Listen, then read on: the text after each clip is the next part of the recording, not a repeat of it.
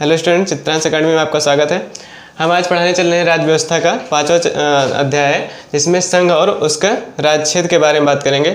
तो जैसे कि हम जानते हैं संविधान में, संघ और उसके राज्य क्षेत्र में, संविधान के भाग एक में अनुच्छेद एक से लेकर चार तक, अनुच्छेद से एक से लेकर चार तक के बारे संघ और उसके राज्य क्षेत्र के बारे में बताया गया है। जैसे तो संविधान में भारत जो हमारा देश है, हमारे देश को दो नाम से पुकारा जाता है। ठीक है, हम पहले जो है भारत और इंडिया। भारत और इंडिया जो है, दो नामों से, दोनों नामों में बहुत मतभेद था। मतलब कुछ जो भारत में जो संविधान के जो कानून के जो ज्ञाता थे उनमें जो है बहुत ज़्यादा मतभेद था। मतलब कुछ लोग भारत कहने पर अ, कहना चाह रहे थे और कुछ लोग इंडिया। तो इसके आधार पर संविधान में बहुत सारे समझ जो है उथल पुथल के बाद जो है समझौते के बाद जो है भारत और इंडिया दोनों नाम को जो है भारत के संविधान में ले लिया गया। तो अनु- अनुच्छेद एक में भारत अर्थात इंडिया जो है राज्यों का संघ होगा। इसका अनुच्छेद एक के एक का में जो है रखा गया है कि भारत जो है अर्थात इंडिया संविधान राज्यों का एक संघ होगा। इसे अनुच्छेद एक में है कि संघ का नाम अनुच्छेद एक में संघ का नाम और राज्य क्षेत्र संघ का नाम और राज्य जैसे कि बताया कि संघ का नाम जैसे इंडिया है तो इंडिया और भारत दोनों जो है दोनों नाम जो है भारत के संविधान में देश के देश के नाम को जो है डिस्क्राइब किया गया है भारत और इंडिया से। उसके बाद हम देखते हैं कि राज्य जो भारत का जो राज्य क्षेत्र है उसको तीन भागों में हम पढ़ते हैं। जैसे राज्यों के राज्य क्षेत्र संघ का राज्य क्षेत्र अन्य राज्य क्षेत्र जो अर्जित किए जाए। मतलब राज्यों के रा, जो राज्यों का राज्य क्षेत्र राज्य क्षेत्र है उसके बाद संघ का राज्य क्षेत्र है अन्य राज्य क्षेत्र जो अर्जित किए जाएँ। तो हम देखते हैं कि भारत में जो हमने वही पढ़ा चैप्टर में संघ और उसका राज्य क्षेत्र तो संघ क्या होता है? तो भारत में संघ और राज्यों का समूह। हम देखते हैं कि भा, जो भारत का संविधान है उसमें क्या किया गया है? बताया कि भारत राज्यों का एक संघ है। तो संघ शब्द को जो है लिया गया है। तो स, जैसे कि संघ और परिसंघ जिसको हम बोलते हैं समूह। तो हम तो इस शब्द को लिया गया है। तो क्योंकि इस समूह के जगह सम, तो समूह परिसंघ न रख करके राज्यों का समूह न रख करके राज्यों का संघ इसलिए बोला गया है क्योंकि राज्यों के संघ से ये मतलब होता है जैसे परिसंघ जो समूह है जो जिसको हम बोलते हैं फेडरेशन इसका मतलब होता है संधि। इस तो संधि का मतलब इसको इसलिए नहीं रखा गया इसका मतलब संधि से रिलेटेड है। इस लेकिन हमारे यहाँ जो भारत है वो एक देश है। तो केवल राज्य जो होते हैं वो भारत को अलग अलग राज्यों में विभाजित किया गया है। केवल प्रशासनिक या राजने, राजने जो राजनीतिक व्यवस्था है उसको कायम रखने के लिए किया गया है। तो मतलब संघ का मतलब ये हो गया भारत जो है राज्यों का एक संघ है मतलब राज्य को भारत से अलग होने का कोई अधिकार नहीं है। भारत जो है कोई भी राज्य जो है, अपनी अलग सीमा नहीं बना सकता है। या राज्य जो है राज्य जो है भारत कोई भी राज्य जो है, भारत से मतलब अपना एक अलग सीमा नहीं बना सकता और उस भारत और केंद्र और राज्य के बीच में कोई समझौते का कारण नहीं, कोई संधि का कारण नहीं है। इसलिए जो है, राज्यों का संघ बोला जाता है। राज्यों का समूह या परिसंघ नहीं बोला जाता है। ठीक है? तो संघ शब्द का जो है, संघ शब्द को लेने का ये मतलब था। उसके बाद आता है राज्य क्षेत्र। तो राज्य क्षेत्र में जैसे कि भारत का राज्य क्षेत्र है तो भारत, अब देखते हैं कि भारत के संघ में, भारत के संघ में से हम अगर देखें, बात करते हैं तो भारत के संघ से देखें तो भारत के संघ में हम क्या, हमने क्या बताया कि भारत का जो संघ है, वो राज्यों का एक समूह है। तो संघ से और राज्य क्षेत्र में हम देखते हैं, अगर भारत का राज्य क्षेत्र देखें तो राज्य क्षेत्र में ठीक, भारत का जो राज्य क्षेत्र है, इसको हम बोलते हैं जैसे कि टेरिटरी ऑफ़ इंडिया तो भारत के राज्यों का संघ का मतलब हो गया, से अगर हम समझें तो राज्यों के संघ में केवल राज्यों के बारे में बात की जाती है, लेकिन अगर राज्य क्षेत्र के बारे में हम देखें तो राज्य क्षेत्र में वो सभी राज्य और जो जो टेरिटरी है मतलब जो दूसरे राज्य के अलावा जो केंद्र शासित, जहाँ ऐसे क्षेत्र जहाँ केंद्र का अधिकार होता है। मतलब वो सभी जो है क्षेत्र शामिल हैं राज्यों के अलावा भी। तो इसमें सभी आते हैं। राज्यों के संघ में भारत के संघ में केवल राज्य के बारे में हम बात की जाती है। राज्य केवल राज्यों के बारे में बताया गया लेकिन राज्य क्षेत्र में वो सभी क्षेत्र आते हैं। जैसे कि राज्यों के राज्य क्षेत्र में संघ का राज्य क्षेत्र या अन्य राज्य क्षेत्र जो अन्य क्षेत्र जो रा- अ, अ, भारत के द्वारा आगे आने वाले भविष्य में भी अधिकृत किए जाते हैं। ठीक है तो वो सभी क्षेत्र जो होंगे, वो राज्य क्षेत्र में आएँगे।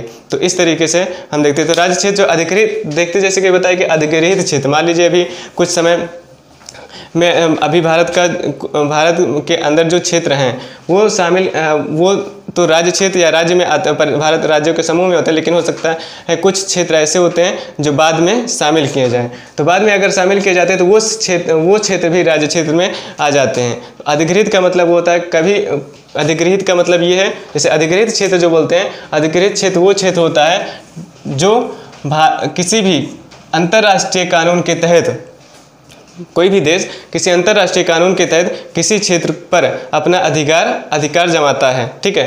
या युद्ध में जीत करके उसको अधिकृत करता है और या फिर किसी विलय नीति से अधिकृत करता है तो वो सभी क्या होते हैं? अधिकृत क्षेत्र होते हैं। तो वो होता है अधिकृत क्षेत्र। इसी को बोलते हैं अधिकृत क्षेत्र बोलते हैं। तो ये अधिकृत क्षेत्र है। उसके बाद तो इसमें तीनों में अनुच्छेद एक में ये बताया गया में आता है कि नए राज्यों की प्रवेश तथा स्थापना। तो नए राज्य अनुच्छेद दो में कान जो संसद है कानून के तहत नए राज्यों की नए राज्यों जो नए राज्य हैं उनको उनको प्रवेश कर सकता है और नए राज्य और नए राज्यों की स्थापना कर सकता है। नए इसमें दो तरीके की शक्ति हैं। नए राज्यों की प्रवेश मतलब जो राज्य पहले से शामिल हैं। हमारे देश में जो पहले से ही विद्यमान हैं उनको शामिल राज्य क्षेत्र में शामिल करने में मतलब संघ में शामिल करने का अधिकार होता है या फिर नए राज्य की स्थापना करने का भी अधिकार होता है तो नए राज्य की स्थापना करने का उसको कानून बनाकर नए राज्य की स्थापना कर सकता है तो अनुच्छेद दो में संसद को ये अधिकार दिए गए। जो है नए राज्यों का निर्माण मतलब जैसे कि दो या दो से अधिक राज्य हैं। दो या दो से अधिक राज्य को मिला करके एक नया राज्य बना सकता है या एक राज्य को एक राज्य के कुछ भाग को हटा करके उसी दो एक राज्य में ही दो राज्य बनाए जा सकते हैं। मतलब इस तरीके से नए राज्य की स्थापना की जा सकती है, या फिर किसी राज्य की सीमा में परिवर्तन कर सकता है, या फिर उसके नाम में भी परिवर्तन कर सकता है मतलब राज्य की सीमा को घटा भी सकता है, ये भी अनुच्छेद तीन में संसद को ये शक्ति है कि वो राज्य की सीमा को घटा घटा सकता है या बढ़ा सकता है, या उसके नाम में परिवर्तन कर सकता है, या फिर दो राज्यों को मिलाकर एक राज्य की स्थापना कर सकता है, या एक राज्य को दो अलग अलग राज्य बना सकते हैं, या दो या फिर एक राज्य की एक राज्य से ही कुछ भाग हटा करके एक नए राज्य की स्थापना कर, करने का अधिकार जो है संसद को अनुच्छेद तीन के अंतर्गत मिलती है। तो अब जैसे कि इसमें कुछ जो अनुच्छेद तीन के अंतर्गत नए राज्य की स्थापना करना है तो उसमें नए राज्य की स्थापना करने मतलब उस कुछ जो है कार्रवाई होती है, कार्यप्रणाली है कि किसके तहत, जैसे कि नए राज्य की स्थापना करना होता है तो संसद किसी भी राज्य को ये अधिकार नहीं होता है कि वो अपने राज्य के नाम में परिवर्तन कर सके या फिर अपने राज्य की सीमा में परिवर्तन कर सके। हाँ, उस इस तरीके से किसी राज्य को ये अधिकार नहीं है कि वो अपने राज्य क्षेत्र के सीमा में परिवर्तन कर सके नाम में परिवर्तन कर सके। तो ये कोई अधिकार नहीं इसका एक कानून एक इसको केवल जो संसद को ही अधिकार प्राप्त है कि वो जो है कोई भी अगर ऐसा कोई विधेयक लाया जाता है जिसमें किसी राज्य को किसी राज्य के नाम में परिवर्तन किया गया हो या फिर किसी राज्य के सीमा में परिवर्तन किया गया हो तो इस टाइप के विधेयक को बिना राष्ट्रपति की पूर्व अनुमति के दोनों सदनों में किसी, दोनों सदनों में से किसी सदन में नहीं लाया जा सकता। मतलब अगर इस टाइप के कोई भी जो है विधेयक लाने हैं तो पहले उसको राष्ट्रपति की पूर्व अनुमति होगी। उसके बाद राष्ट्रपति क्या करता है? वो जो विधेयक लाया जाता है, उस विधेयक को जिस राज्य से संबंधित विधेयक होता है, जैसे उत्तर प्रदेश से संबंधित विधेयक है तो राष्ट्रपति जो है, उसकी अनुमति देगा और उस अनु उस विधेयक को राज्य की उस संबंधित राज्य को उस विधेयक को भेजता है विचार विमर्श के लिए। कुछ समय के लिए, उस, कुछ टाइम पीरियड के साथ वो भेजता है कि इतने टाइम पीरियड में मतलब इतने समय काल में जो है वो उसके आधार उस विधेयक पर विचार विमर्श करके वो राष्ट्रपति को वापस कर सकता है। या फिर अगर राष्ट्रपति और वो जो विचार या विचार बता अपना विचार बताता है कोई भी राज्य लेकिन ये है कि कोई भी राज्य अगर अपना विचार बताता है तो राष्ट्रपति उसके विचार को स्वीकार करने के लिए बाध्य नहीं होता। है वो चाहे तो उसके स्वीकार उसके विचार को उसकी सलाह को स्वीकार करे अन्यथा ना करें। अगर नहीं करता है तो अगर क- अ, तो वो वैसे ही उस विधेयक को पारित किया जा सकता है दोनों सदनों में। तो ये उसकी कार्यप्रणाली होती है। किसी भी राज्य की सीमा में परिवर्तन या किसी भी राज्य के अ, किसी भी राज्य के नाम में परिवर्तन करने जैसे कि किसी भी राज्य को जो है नए राज्य में गठित किया जाता है तो बहुत सारे ऐसे मामले हुए हुए जो भाषा के आधार पर भी जो है राज्य को राज, नए राज्य की स्थापना करने का बहुत ज़्यादा कोशिश की गई थी। तो वो जो है उसमें हम आगे बताएँगे कि किस तरीके से कौन से राज्य, जैसे कि बताया कि आंध्र प्रदेश जो है, पहला ऐसा एक राज्य था जो एक भाषा के आधार पर स्थापित किया गया था।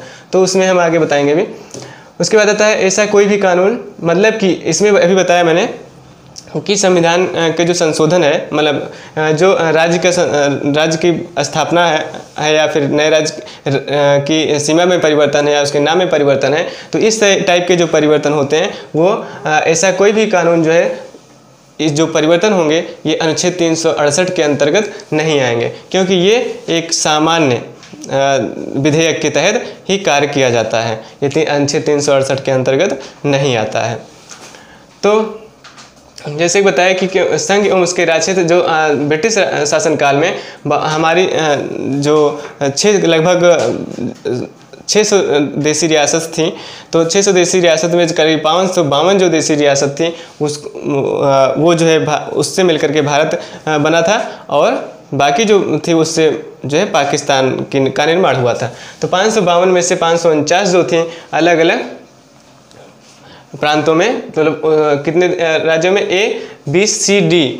चार श्रेणियों में बांट दिया गया था। चार श्रेणियों में बांट दिया गया था, जो पाँच थे, वो तो भारत के राज्य में, भारत के साथ जो है सम्मिलित हो गई थी, लेकिन उसमें से तीन राज्य तीन प्रांत ऐसे थे, जो नहीं सम्मिलित हुए थे। जिसमें आता है हैदराबाद, जूनागढ़ और जम्मू कश्मीर। तो जम्मू कश्मीर जो होता है, उसको जब जम्मू कश्मीर में कुछ समय के बाद जो है, पाकिस्तान जो है, जम्मू कश्मीर पर आक्रमण कर देता है, जिससे एक विलय नीति के तहत, विलय पत्र के तहत जो है, जम्मू कश्मीर भारत में आकर के सम्मिलित हो जाता है, मिल जाता है। उसके बाद है जूनागढ़।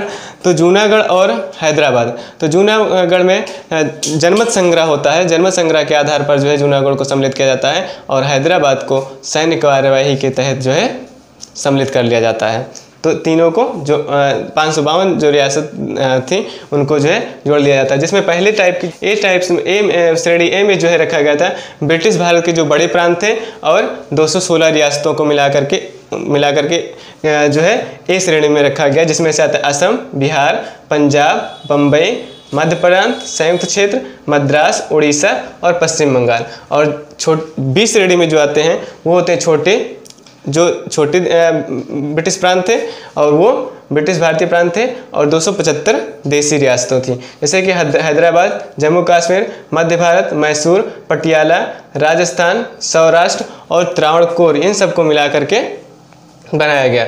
उसके बाद आते हैं इकसठ विदेशी सॉरी, इकसठ देसी रियासतों को मिला करके सी श्रेणी का बनाया गया, जिसमें से अजमेर, भोपाल, बिलासपुर, बिहार, कुर्ग, दिल्ली, हिमाचल प्रदेश और कच्छ, मणिपुर और त्रिपुरा में लाया गया। उसके बाद आता है डी में जो डाला गया, वो है अंडमान निकोबार और अर्जित समूह। अंडमान निकोबार और अर्जित समूह, अर्जित वो समूह जो भविष्य में किसी भी कोई भी ऐसे क्षेत्र हो जो भारत सम्मिलित करता है तो ऐसे क्षेत्र को वो किसमें रखेंगे? डी श्रेणी में रखा जाता था। ठीक है? तो ये तो ये इस इसमें जो है जितने भी देसी रियासत थी उनको मिला करके चार श्रेणियों में कि राज्य पुनर्गठन आयोग जो है से संबंधित जैसे राज्य के नए नए राज्य की स्थापना कैसे की गई? तो नए राज्य राज्य पुनर्गठन से संबंधित क्या थे? हमने जैसे बताया कि जितने भी 500 रियासतें सॉरी 600 रियासतें थी तो 600 रियासतों को मिला करके कितने राज्य बना कितने राज्य कितने श्रेणी चार श्रेणियों में डिवाइड किया गया था, मैंने बताया था। पाँच छः सौ में से पाँच सौ बावन मतलब five fifty two five fifty two मिल करके भारत एक भारत देश बन गया था, और बाकी जो थी वो पाकिस्तान में विलय हो गई थी। लेकिन पाँच सौ बावन में पाँच सौ उनचास जो है, भारत में तो विलय हो गई, लेकिन तीन जो है वो नहीं हुई थी, मैंने बताया था। तो बाद में जो है उसको भी विलय कर लिया गया था। उसके बाद जो है उसको चार श्रेणियों में डिवाइड कर दिया गया था। हमने बताया कि चार श्रेणियों में डिवाइड कर गया, कर दिया गया था। नए तो की ज़रूरत क्या पड़ गई कि नए राज्यों का पुनर्गठन या फिर नए राज्यों के सीमा परिवर्तन में क्या, या फिर नाम में परिवर्तन करने की ज़रूरत क्यों पड़ गई? क्योंकि पहले जो है ब्रिटिश शासन था तो उस समय ब्रिटिश शासन होने की वजह से जो राज्य की जो सीमा थी, वो बहुत ही, कोई भी उसका आधार नहीं था, राज्य की सीमा का कोई आधार नहीं था राज्य के ना जो जो नाम थे, उन पर भी आधार, क्योंकि नाम में परिवर्तन होने से मतलब ये होता है क्योंकि उस समय ब्रिटिश शासन था तो उस, उसके आधार पर जो नाम दिए गए थे, उसमें से दूसरे प्रांत के, जैसे ब्रिटिश भारत के नाम की कुछ संस्कृति जो है, झलकती रहती थी। इसलिए हम अगर स्वतंत्र हो गए हैं तो हम अपने आधार पर नाम में परिवर्तन कर सकते हैं। तो यही सब इस वजह से परिवर्तन होता था। तो राज्य के पुनर्गठन की मांग जो है धीरे धीरे बढ़ते नार तो बढ़ की मांग उठने लगी। तो उस समय जो है, एक धर आयोग की जो है, सिफारिश की मतलब धर आयोग बनाया गया। धर आयोग जो है, भारत के इलाहाबाद उच्च न्यायालय के एक सेवानिवृत्त जो है न्यायाधीश थे जिनके आयोग में ये अध्यक्षता में ये आयोग बनाया गया। उन्होंने जो है उन्नीस सौ अड़तालीस में अपनी रिपोर्ट सरकार को पेश की और उन्होंने बताया कि किसी भी राज्य का पुनर्गठन जो होगा वो भाषा के आधार पर होना सही नहीं होगा, क्योंकि राज्य के पुनर्गठन केवल प्रशासनिक आधार पर ही होना चाहिए। लेकिन उसके बाद जो है, ये मांग जो है बढ़ती गई, जिसके बाद एक और समिति बनाई गई जे समिति जिसको बोलते हैं, जवाहरलाल नेहरू, वल्लभ भाई पटेल और पी पटाभी सीतारामैया थे तो उन्होंने इन तीनों के सदस्य रहते हुए जो है, ये समिति बनाई गई। और ये समिति बनाने के बाद जो है इसने भी जो है भाषा के आधार को पूरी तरीके से नहीं नकारा, लेकिन वह कहा, बताया कि भाषा के आधार पर रहते हुए ज़्यादातर हमें ज़ोर किस पर देना चाहिए? प्रशासनिक या राजनीतिक आधार पर ज़्यादा ध्यान देना चाहिए। भाषा के आधार पर भी होना चाहिए लेकिन जो है ज़्यादा हमें जो है उस पर ध्यान देना चाहिए। लेकिन उस समय जो है लोगों के बीच में जो है ये मांग आ, मांग बहुत ज़्यादा बढ़ गई थी। तो आ, क्योंकि उस समय केंद्र जो कांग्रेस के एक नेता थे राम लुल्लू करके तो उन्होंने जो है उनकी भूख हड़ताल के बाद जो है उनकी डेथ हो जाने के बाद जो है ये भारत सरकार के ऊपर दबाव पड़ा, जिसके आधार पर पहली बार भारत को जो है भारत सरकार को जो है भाषा के आधार पर राज्य का पुनर्गठन किया गया। तो भाषा के आधार पर जो राज्य का पुनर्गठन किया गया, वो आंध्र प्रदेश था, क्योंकि मद्रास जो था, आंध्र प्रदेश जो है मद्रास, पहले मद्रास था, मद्रास को जो है, डिवाइड करके, मद्रास को डिवाइड करके जो तेलुगु भाषी क्षेत्र थे, उसको आंध्र प्रदेश नाम दे दिया गया। लेकिन उसके बाद इसके बाद जो, इसी में जो तमिल भाषी क्षेत्र थे, उसको तमिलनाडु में बना दिया गया। तो इस, और जब ये आंध्र प्रदेश को एक नया राज्य, भाषा के आधार पर पुनर्गठित किया गया तो ये मांगे और धीरे धीरे बढ़ती चली गई, क्योंकि सभी राज्यों की मांग भाषा के आधार पर बनाने की बढ़ती चली गई। तो उसमें के बाद फजल अली आयोग, फजल अली की नाइनटीन में, थ्री में, फजल अली की अध्यक्षता में एक फजल अली आयोग के स्थापना की गई। तो फजल अली आयोग के दो सदस्य थे, के एम पड़ियकर और एच एन कुंजरू। तो उनकी अध्यक्षता में इस आयोग की सिफारिश की इस आयोग ने के आधार पर जो है 16 नए राज्यों की स्थापना की गई और तीन केंद्र शासित प्रदेश, जो बाद में परिवर्तन करके 16 नए राज्य और छः केंद्र शासित प्रदेश बनाए गए। तो इसमें कि ये तीन समितियाँ और आयोग। भाषा के आधार पर नए राज्यों का गठन होने से बता कुछ जानकारियाँ बताते हैं कि नए राज्यों का गठन होने से भाषा के आधार पर होने से भारत में एक गृह युद्ध मतलब कि भारत में शांति व्यवस्था स्थापित होने का एक मुख्य कारण रहा है भाषा के आधार पर क्योंकि जैसे कि हम देखते हैं पाकिस्तान में बंग, बंगाल बंगाली भाषा फारसी क्षेत्र होने की वजह से उसमें जो है बहुत ज़्यादा युद्ध हुआ था और श्रीलंका में भी जो इसके वजह से गृह युद्ध चला था। तो जिससे भाषा के आधार पर हम भारत में जो है भाषा के आधार पर नए राज्य की नए राज्य की गठन करने से यहाँ जो है जो गृह युद्ध होने से मतलब अंतर युद्ध होने से लोगों के बीच मतभेद होने से ये कमियाँ मतलब ये जो थी वो पूरी तरीके से ख़त्म हो गई और राज्य लोगों के बीच में एकता की भावना उद्भव। नए राज्यों का गठन लिख लो। नए राज्यों का गठन? तो पहला राज्य जो है वो क्या है? मैंने बताया था आंध्र प्रदेश। आंध्र प्रदेश कब बना था? 1953 में। किससे अलग होकर के बना है? मद्रास से। अलग होकर के बना। ठीक है? जिसमें से एक क्या बना? वो हो गया तमिलनाडु और दूसरा आंध्र प्रदेश। उसके बाद आता है केरल। केरल जो राज्य है, वो 19 वो भी जो है 1956 में। वो 1956 में केरल राज्य की स्थापना 1956 में की जाती है। जिसमें से केरल राज्य जो है, त्रावणकोर और कोचीन। त्राव कोचीन और त्रावण कोर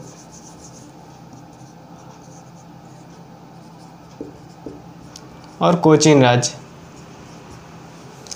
उसके बाद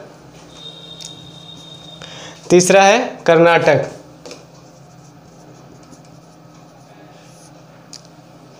तीसरा राज्य जो स्थापित किया गया वो कर्नाटक राज्य स्थापित किया गया 1973 में 1973 में बताया था नाइनटीन 19 हाँ नाइनटीन में जो है, ये सॉरी 1973 में कर्नाटक राज्य, क्योंकि मैसूर राज्य था, पहले स्थापित किया गया था मैसूर राज्य मैसूर राज्य जो था, वो 1956 में स्थापित किया गया था, लेकिन 1973 में जो है, मैसूर को कर्नाटक नाम दे दिया गया था। मैसूर को कर्नाटक नाम दिया गया।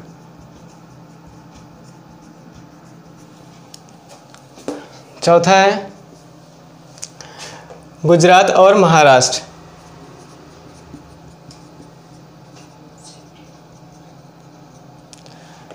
गुजरात और महाराष्ट्र जो है, वो 1960 में मुंबई से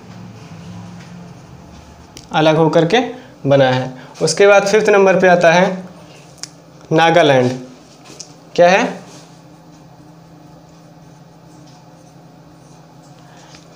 फिफ्थ नंबर पे नागालैंड है, जो 1962 में नागालैंड जो है 1962 में असम राज्य से अलग होकर के बना है। किससे? असम राज्य से अलग होकर के बना नागालैंड। उसके बाद सिक्स नंबर पे आता है हरियाणा। हरियाणा जो है, पंजाब से अलग होकर के बना है। तो हम देखते हैं।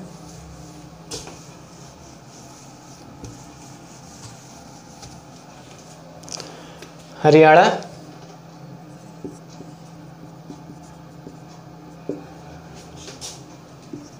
पंजाब राज्य से अलग होकर के 1966 में बना। ठीक है? उसके बाद सेवन्थ नंबर पे। उसके बाद हम सेवन्थ नंबर पे देखते हैं अरुणाचल प्रदेश। अरुणाचल प्रदेश जो है, वो हिमाचल प्रदेश से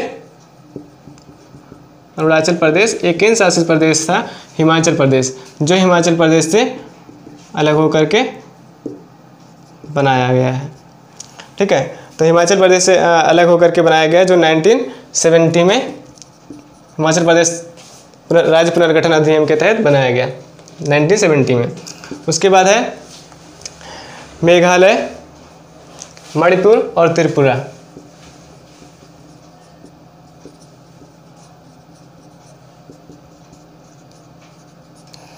तो मेघ, इसमें मेघालय मणिपुर और त्रिपुरा जो है मेघालय राज्य जो था असम राज्य से ही अ, इसको जो है अलग करके बनाया गया है। तो असम राज्य से अलग करके बनाया गया बाईसवें संविधान के बाईसवें संविधान संशोधन के तहत जो है असम राज्य को असम राज्य से अलग करके एक मेघालय राज्य की मेघालय को एक पूर्ण दर्जा दिया गया था राज्य का 1971 में। उसके बाद 1971 में ही मणिपुर और त्रिपुरा को भी जो है एक पूर्ण राज्य का दर्जा दे दिया जाता है। उसके बाद सिक्किम। सिक्किम।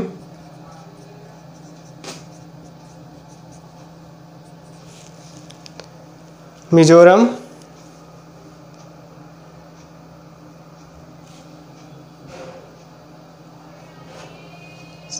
मिजोरम और अरुणाचल प्रदेश। अरुणाचल प्रदेश को 1966 में 1986 में, यहाँ से देख लेते हैं, अरुणाचल प्रदेश को 1986 में पूर्ण राज्य का दर्जा दे दिया जाता है। पूर्ण राज्य का दर्जा दे दिया जाता है। मिजोरम, त्रिपुरा और सिक्किम जो है सिक्किम जो है 1974 में एक संबंधित राज्य का दर्जा दिया गया था। उसके बाद जो है 1975 में जो है इसको पूर्ण राज्य बना दिया जाता है 1975 में। उसके बाद मिजोरम जो है, मिजोरम राज्य को 1986 में पूर्ण राज्य का दर्जा दिया जाता है। 1986 में पूर्ण राज्य का दर्जा दिया जाता है। कब बने हैं? सिक्किम 1977 में पूर्ण राज्य बनाया गया मिजोरम 1986 में पूर्ण राज्य बना और अरुणाचल प्रदेश जो है पूर्व राज्य का दर्जा कर दिया गया था। लेकिन अरुणाचल प्रदेश 1970 में हिमाचल प्रदेश के साथ एक संबंधित राज्य का आ, संबंधित राज्य बनाया गया था। एसोसिएटिव स्टेट जिसको बोलते हैं वो बनाया गया था। उसके बाद उसके बाद देखते गोवा। गोवा जो है दमन और दीप जो है गोवा दमन और दीप जो केंद्र शासित प्रदेश थे, उससे अलग कर दिया गया था 1987 में। 1987 में गोवा को दमन और दीप से अलग कर दिया गया। ठीक है? और इसको जो है, दमन और दीप से अलग करके जो है पूर्ण राज्य का दर्जा 1987 में दिया गया। उसके बाद छत्तीसगढ़, उत्तराखंड, झारखंड, ये सभी जो हैं दो हज़ार में छत्तीसगढ़, उत्तराखंड और झारखंड। देखते हैं। छत्तीसगढ़, झारखंड और उत्तराखंड। ये सभी 2000 में, सन 2000 में बनाए गए हैं। तो छत्तीसगढ़ जो है मध्य प्रदेश राज्य से विभक्त क्या क्या बनाया गया? ठीक है, छत्तीसगढ़ जो है मध्य प्रदेश राज्य से विभक्त करके बनाया गया। और झारखंड जो है, बिहार से, और उत्तराखंड जो है, उत्तर प्रदेश से विभक्त करके बनाया गया था। उसके बाद है, तेलंगाना। तेलंगाना 2014 में आंध्र प्रदेश से अलग करके बनाया गया। 2014 में आंध्र प्रदेश से अलग करके बनाया गया था। ठीक है? तो ये कुछ राज्य थे। तो ये सभी राज्य का पुनर्गठन कब हुआ और किससे विभक्त करके बनाए गए हैं, ये इसमें बताया गया है। तो आज क्लास हम यही ख़त्म करते हैं और ये बताइए कि इसमें जो है वीडियो मेरा कैसा लगा? और अगर कोई प्रॉब्लम है तो उसमें कमेंट करके बताएँ और इस वीडियो को ज़्यादा से ज़्यादा लोगों में शेयर करें और जो है लाइक करें और सब्सक्राइब करें।